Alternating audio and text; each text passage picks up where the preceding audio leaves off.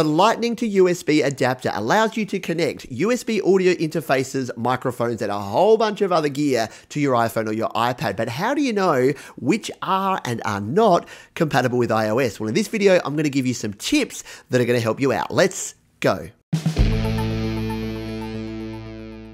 Hi, my name is Pete, and this is Studio Live today, where my passion is helping you create, record, and release your best music, especially using iOS devices. So, when folks come to me and ask me, is this device compatible with my iPhone or iPad? There's a few things that I need to let them know, and that is what we're going to dive into in this video. Now, before I jump in and give you the full explanation of what to look for, if you want a shortcut, you can head over to my gear guide at studiolivetoday.com slash gear because everything I have there is 100% class compliant, tested by me and by people that I trust because they are products that I have personally used with iPhone and iPad. So if you want to skip all of this, just go to studiolivetoday.com slash gear. But now let's dive in and give you the full explanation.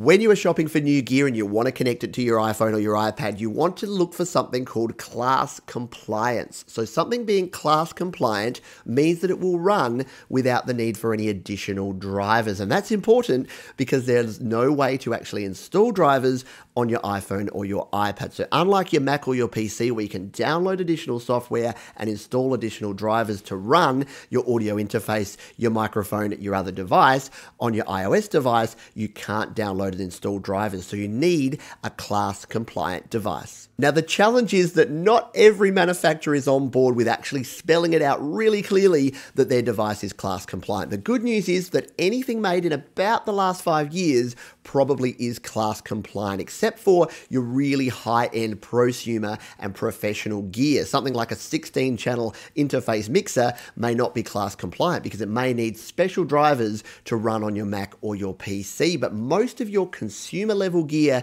is going to be class compliant. The other thing to look for when you're buying gear is that some gear like the Steinberg range of interfaces will actually specifically spell out that it is iOS compatible. And that's why I use and recommend the Steinberg range of interfaces because they are iPhone and iPad compatible right out of the box. And in fact, your UR12 and UR22 Mark II even have a separate power selector here, making them even more convenient and easy to use. And there are videos, which I'll link up the top there and in the description, all about the Steinberg range of interfaces interfaces. Some models like the Steinberg UR44 pictured here even have a switch that can actually change them into class compliant mode. So even if you're using them with your Mac or PC and you're using the more advanced drivers, you can flick them back to class compliance mode and use them with your iPhone or your iPad. Now at this stage, some of you may be asking, Pete, what if I've got some older gear or if I'm looking to buy something secondhand? How do I know definitively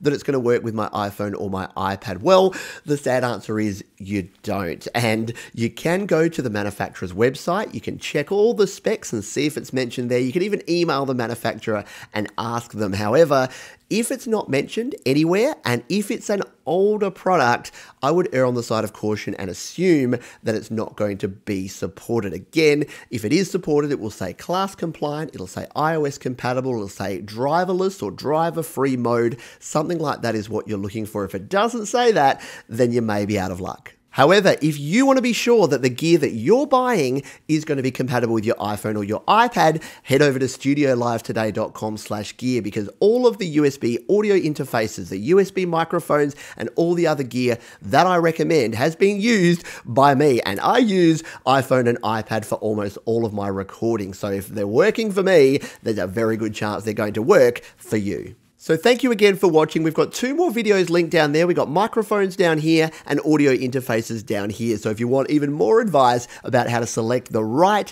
USB device to use with your iOS device, check out those videos. Subscribe to the channel by clicking or tapping on the Studio Live Today icon and I'll see you on the next video.